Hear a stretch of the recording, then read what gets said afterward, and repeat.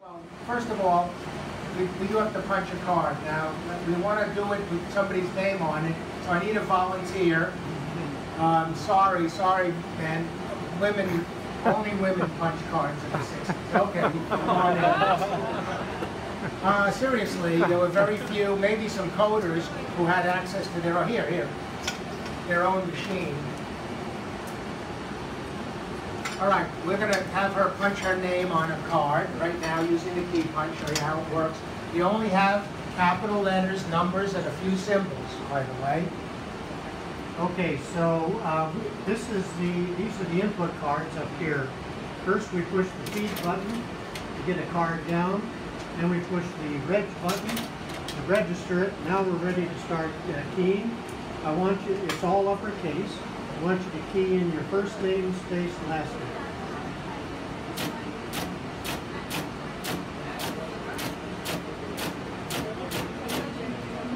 All done? And we push release, reg again and release, reg again, and here we have the card. Ya, Ellie? I'm gonna hold on to this for a bit, I'll give it back to you. Well, let's give her a hand. She did a great Give job. a hand. over. At the end of our demo, if there's several, of if you guys want to punch your own card, that's fine. So.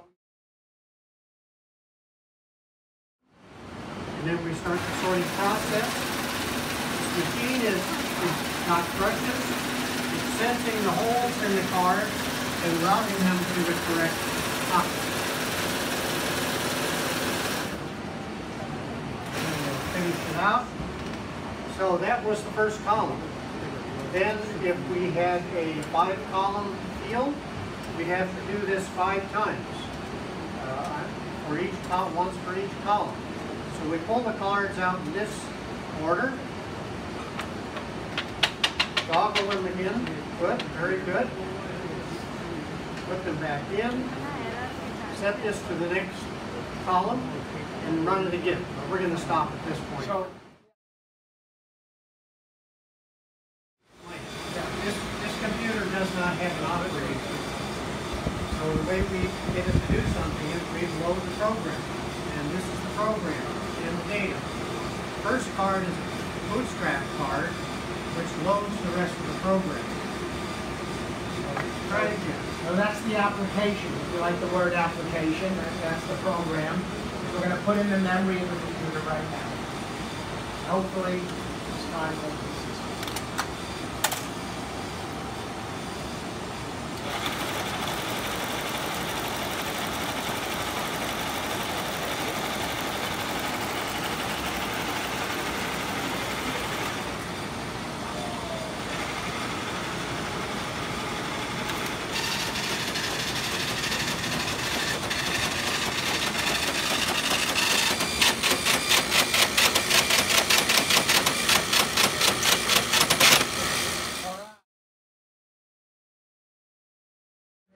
when this computer was built, those kind of circuits were kind of expensive. So basically, Steve's going to show you what the interconnecting cable for this machine looks like. It's a little bit bigger. Because all the bits are sent through the cable at once, so we have many, many, many wires. And it, uh, believe me, it's uh, good weightlifting exercise.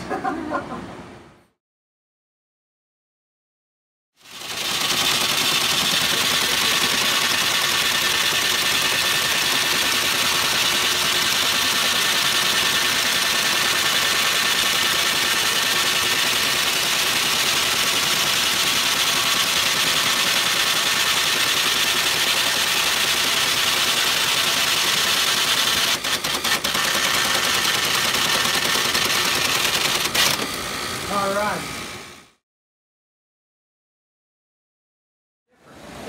Read from one tape, do some processing, write to another tape, and that cycle repeats. Read, process, write. And that can mean a lot of high-speed stopping and starting of these tapes, and which could cause, which could stretch the tape. So the engineers came up with these columns here to uh, avoid that problem. So these are vacuum columns that take the tension off the tape. And there are two holes, you notice there at the top and the bottom. So when the tape is at the top hole, it tells the machine to feed more tape into the column. When it gets to the bottom, it tells the machine to pull tape out of the column. And uh, then when we get to the uh, end of the run, uh, we want to, it would take a long time to rewind the piston, so we've got a high-speed rewind.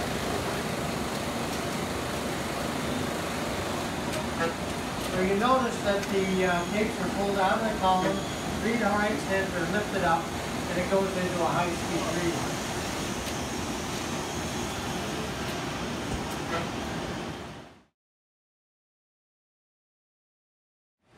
All right, so, any, if you have questions, we'd be happy to answer them.